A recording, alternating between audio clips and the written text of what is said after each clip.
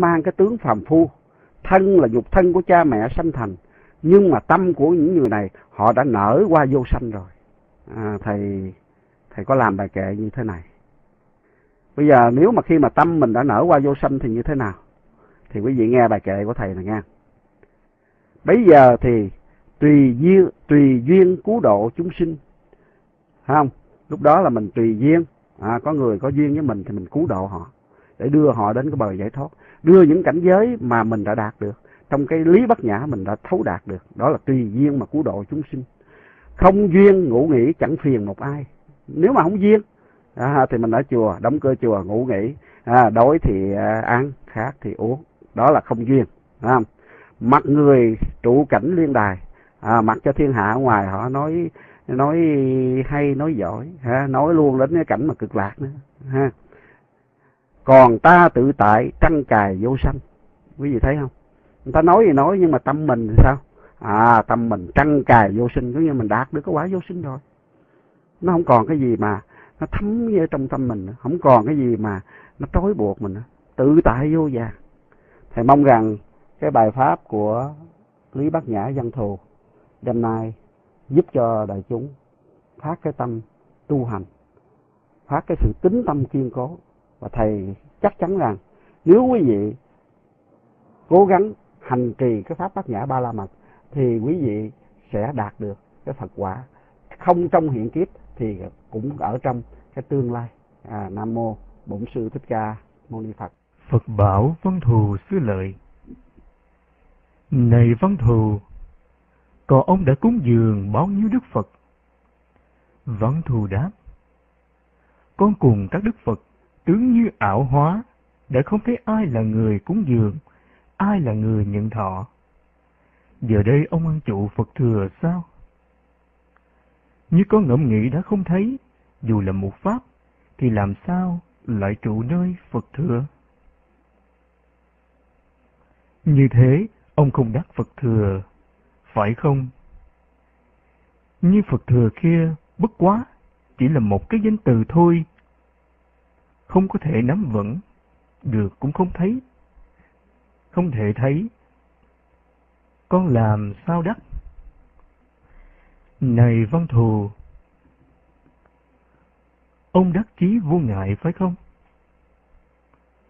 Con tức là vô ngại rồi. Tại lại sao lại có chuyện dùng vô ngại để đắc vô ngại? Ông ngồi ở đạo tràng phải không? Tất cả Pháp, tất cả Như Lai đã không ngồi ở đạo tràng. Tại sao con lại riêng rẽ ngồi một mình ở đạo tràng? Tại sao có việc như thế? Vì hiện thấy rằng các các pháp trụ thất tế. Thực tế là thế nào? Thân kiến là thực tế. Thế nào thân kiến là thực tế? Thân kiến tướng như như không phải thật, không phải hư, không đi không lại, cũng là thân lại. Cũng không phải là thân đó là thực tế. Xá lợi Phất thưa Phật, Bạch Thế Tôn, nếu ai nhận định rõ ràng được thật nghĩa này gọi là Đại Bồ Tát. Tại sao con nói như vậy? Là vì họ là người đủ năng lực lãnh hội bát nhã ba la mật cao xa, tâm lại không hề sợ hãi, không kinh hoàng, không hối hận. A Di Đà Phật con xin à, kính thánh thầy. Nam mô Bổn sư Thích Ca Mâu Ni Phật. Tất cả quý đại chúng vừa nghe cư sĩ Bồ Tát à, chân nguyên pháp đã đọc qua cái phần văn kinh. Bởi vì cái phần kinh Bát Nhã này là cửa ngõ để mà vào ở trong cái đức tướng thanh tịnh của mọi chúng sinh. Do đó thầy mong tất cả quý vị dùng thân tâm và tam nghiệp của mình thân khẩu ý rất là thanh tịnh để lắng lòng nghe những cái phần kinh quý báu này cái sự đối đáp giữa à, đức phật và đại bồ tát văn thù sư lợi và thầy sẽ đọc từ câu để mà thầy giảng từ câu để cho quý vị có thể thâm nhập được Bây giờ thì Phật bảo Ngài Văn Thù xưa lợi. Này Văn Thù, ông đã cúng dường bao nhiêu Đức Phật? Văn Thù đáp, con cùng các Đức Phật tướng như là ảo quá, đã không thấy ai là người cúng dường và ai là người thọ nhận. Như vậy, thưa quý đại chúng đã thấy cái đoạn kinh này, cái ý nghĩa rất là sâu xa. Khi mà quý đại chúng thấy Đức Phật hỏi Văn Thù rằng, ông đã cúng dường bao nhiêu Đức Đức Phật? Như vậy thì là ý của Đức Phật muốn xem tâm của Ngài Văn Thù, xem tâm của Ngài Đại Bồ Tát này còn dướng vào cái hình tướng phước thí cúng dường hay không. Thường thì một người chưa hiểu về cái hạnh bát nhã thâm sâu thì mọi công đức cúng dường các đức Phật đều được người này à, quân tập và tính đếm. Và những người này họ sẽ chờ đợi những cái quả báo tốt đẹp ở trong cái tương lai. Đó là những người mà họ chưa có hiểu được cái hạnh tu bất nhã. Và bây giờ thì thầy mời quý vị đại chúng nghe ngài văn thù đối đáp câu hỏi của đức phật. Bạch đức thế tôn con cùng đức phật tướng như ảo quá con không thấy ai là người cúng dường. Ai là người à, tạo nhận. A di đà phật à, chỗ này rất là lành thai bồ tát văn thù. Chỉ một câu trả lời này của ngài văn thù cũng đủ làm chấn động tam thiên đại thiên thế giới rồi. Đúng như vậy người tu mật hạnh bát nhã ba la mật khi các ngài đã phá xong cái ngã ngã chấp và pháp chấp thì mọi vật trong cái vũ trụ này không còn bị cái tâm phân biệt, tất nhiên là vọng tâm của chúng sinh. Nó soi chiếu nữa. Mà tất cả mọi muôn pháp đều trở thành chân như thật tánh. Do đó trong cái bản thể chân như này thì không có người cúng dường, cũng không có người thọ nhận. Đây là một cái sở chứng mà của các chư bồ tát. Cái chỗ này là cái chỗ rất là khó vào nhưng mà nếu chưa đại chúng hiểu được cái phần này, thì quý vị đã có sự liễu ngộ chút ít về cái bản tâm chân như của quý vị. Bây giờ thì phật hỏi tiếp, giờ đây ông trụ phật thừa sao? Ngài văn thù liền đáp, con ngẫm nghĩ đã không thấy một pháp, thì làm sao trụ phật thừa? Nam mô a di đà phật.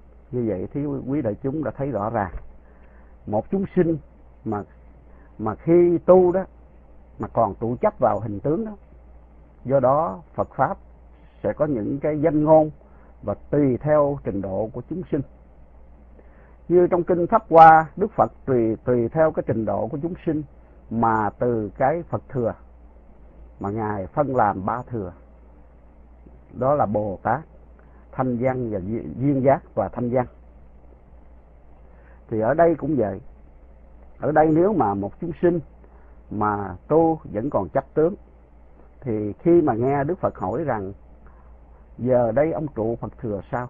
Thì thầy chắc chắn rằng cái vị đó sẽ rất là hãnh diện và đáp ngay một câu, bạch đức thế tôn, con đang hành hạnh bồ tát và đang lần vào trong cái phật thừa. Bởi vì để hướng dẫn những hàng hậu học sau này, có cửa để đi vào ngôi nhà bát nhã, mà đức phật mới có những câu hỏi với ngài văn thù, tuyệt là hay bởi vì những câu hỏi ở đây là dành cho văn thù bồ tát. Nên ngài văn thù ngài đã dùng vô sinh trí để trình bày thực tướng các pháp. Thầy xin quý vị lưu tâm cái chỗ vô sanh trí. Cái chỗ vô sanh trí đây tất nhiên là cái trí thể không phân biệt. Có nghĩa là cái sự trí huệ nó phát sinh từ trong bản tâm chứ không phải là trí huệ thường tình của nhân sinh. Trí, trí huệ của thường tình của nhân sinh à, thì không gọi là trí huệ mà gọi là trí thức. Thật tướng của các pháp là thế nào? Thật tướng của các pháp nghĩa là không một pháp có thể nắm bắt. Thì làm sao người tu có có pháp để mà trụ vào phật thừa? Như vậy thì quý đại chúng thấy rằng câu trả lời của ngài văn thù rất là hay. Khi đức phật hỏi rằng ngài đang trụ phật thừa phải không?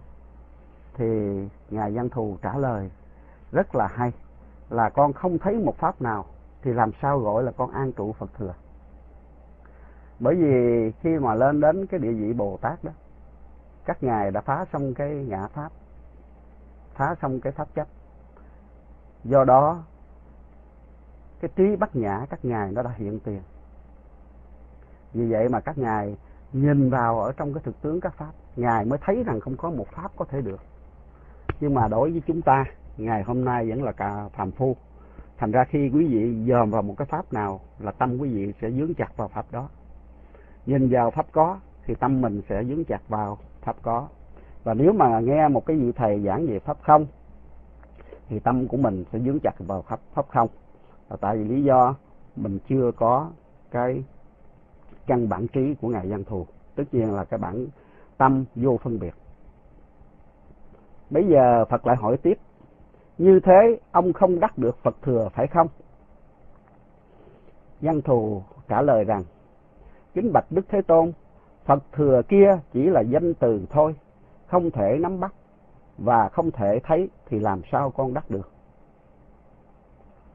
A di đà phật, quý đại chúng thấy lời của dân thù sư lợi rất là hay, phải không? Những cái câu kinh này rất là hay. Bởi vậy khi mà thầy đọc những cái câu kinh này thầy thấy thầy cần phải làm sáng tỏ để cho tất cả quý vị có thể đi vào ở trong cái thật tướng của chân tâm. Bởi vì như quý vị đã chúng đã biết rằng ngài văn thù là tượng trưng cho cái căn bản trí. Mà ở căn bản trí thì không còn cái tri kiến tình của tình thức nữa. Do đó câu trả lời của bồ tát là một sở đắc của chân tâm trong sạch chỗ này thì nó bật đi hình tướng.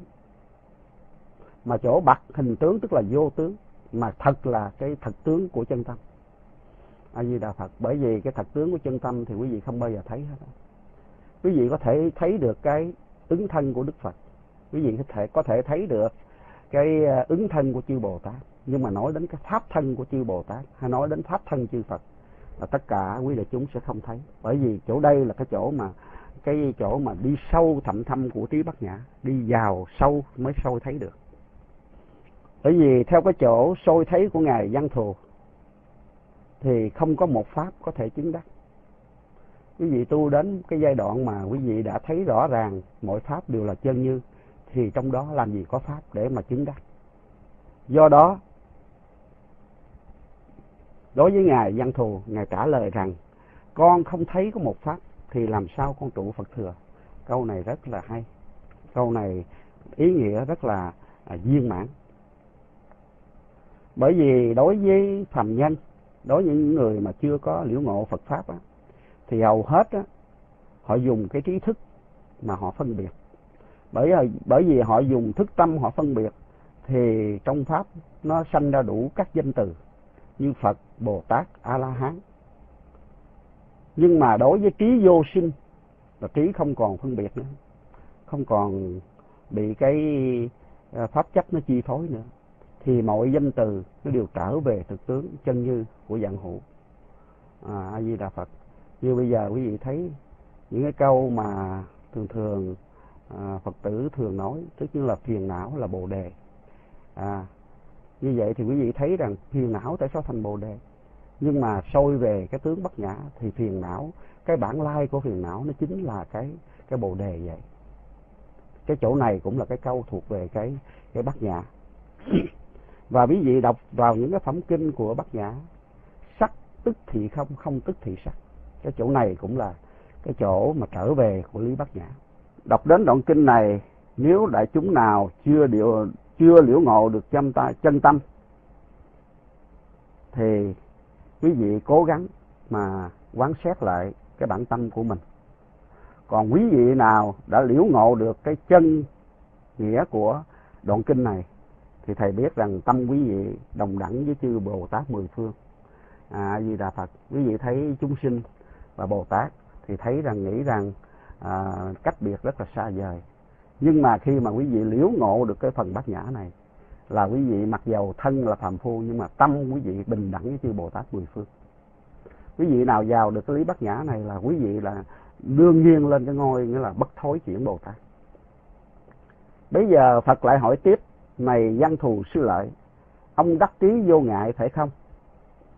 Văn thù sư lợi trả lời, con tức là vô ngại, tại sao con lại có chuyện vô ngại để đắc vô ngại? A di đà phật, quý